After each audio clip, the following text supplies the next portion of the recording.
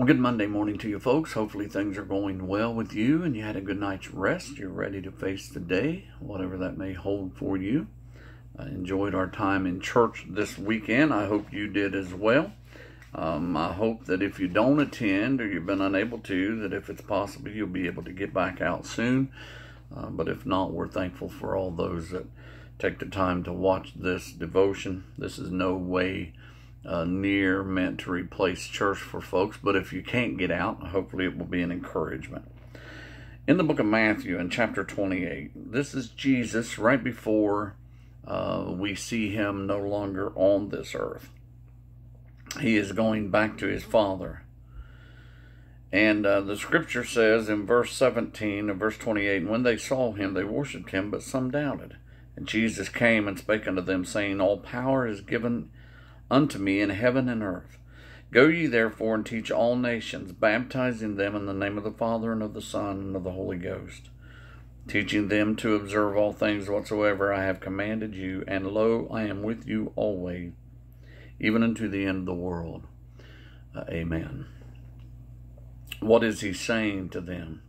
It is important for them, it's important for us to go, to teach, to baptize in the name of the Father and the Son and the Holy Spirit, to go and share uh, the love of God with people, to share the love of Christ with people, to share the story of salvation, the gospel story of forgiveness through and by Jesus Christ and by his shed blood.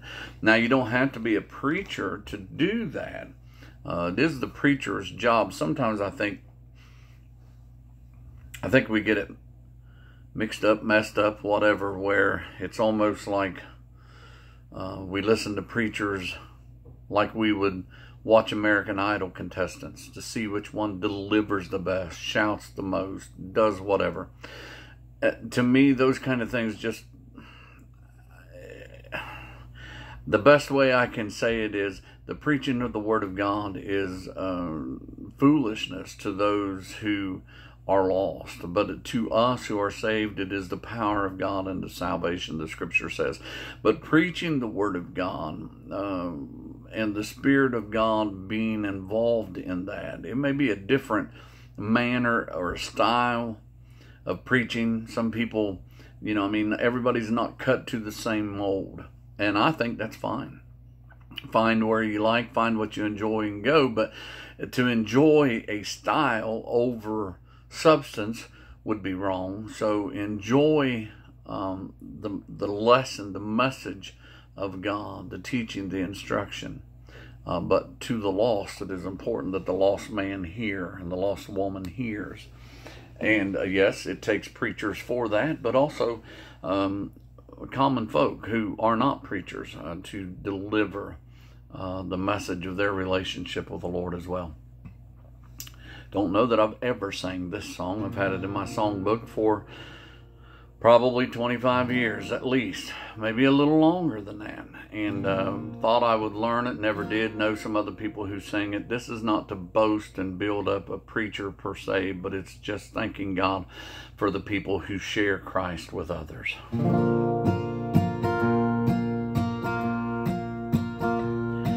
As I walk down the sidewalk a sin stricken city, I see the misfortunes of men. The man in the gutter lying there lifeless, clutching a bottle in his hand. He was some mother's darling, maybe some young man's father, but now he's a prisoner too sin. No hugs in the morning and no family altar. He gets by the best that he can. Thank God for the preacher who told me of Jesus, for I'd be a beggar if not for his grace. Lord, help me show others your love and your mercy. Make my life a witness to others, I pray. In a little white church house at an old tear stained altar, a prayer for God's mercy was heard. Though his sins were many and his burdens heavy, he took the Lord at his word. The angels rejoiced as he was forgiven. Shouts filled the temple on that day. I will never forget over that trip to the altar where I was that sinner who prayed.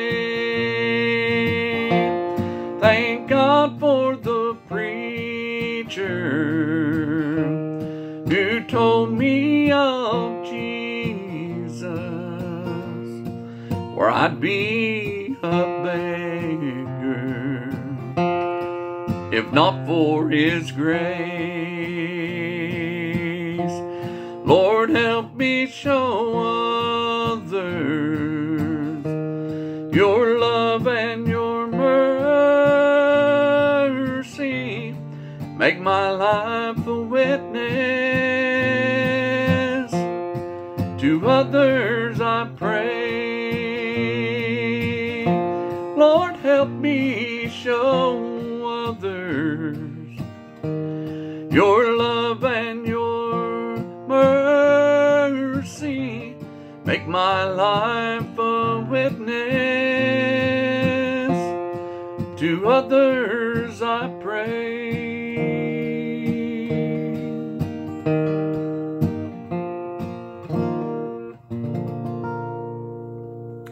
Lord, we thank you for uh, those that spoke truth to us, those who uh, spoke what they held on to be as the gospel, those who proclaimed the blood of Christ, those who proclaimed hell uh, hot and heaven pure and sweet.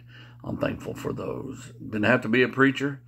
Could have been uh, a little woman. Could have been a, a an older gentleman. Uh, whoever it was that shared Christ with those that are watching this today, God, we're thankful for them. Help us share him with others. We love you. We thank you in Jesus' name.